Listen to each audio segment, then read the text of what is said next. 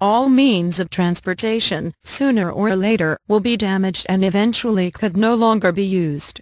At that time, transportation will usually be stored in one centralized place called the graveyard of vehicles. In many parts of the world, there are many graves of vehicles not only memory impression haunted but also unique. For more details, here are some of the most impressive vehicle graveyard in the world as reported by Jalopnik. 1.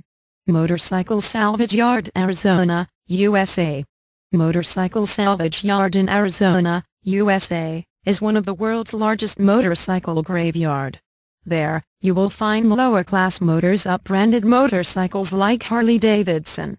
In fact, in a video on YouTube, seen some of the carcass, this bike is still quite smooth.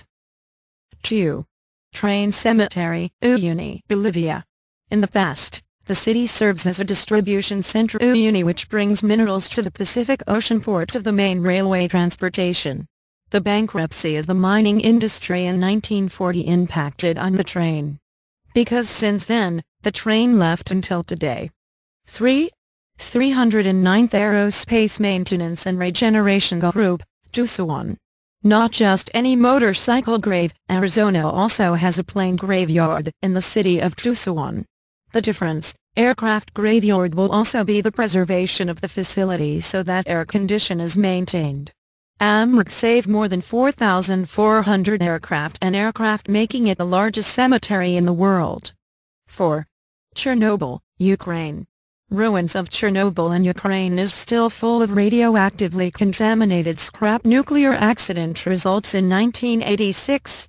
The former iron including the vehicles belonging to the Soviet Union, when it was still part of the Ukrainian Soviet Union, such as cars and helicopters. As a result, it becomes grave graveyard transport transportation of the most dangerous in the world. 5. Châtillon Forest Car Graveyard, Belgium. Cemetery This one has a long history. These vehicles are estimated to have left in the village of Châtillon, Belgium, by the U.S. Army during World War II. When the war was over, the soldiers did not bring his vehicle but save it to the woods and eventually became grave transport as seen in the photo. Thank you for watching. Please subscribe to get unique information. Masayada.com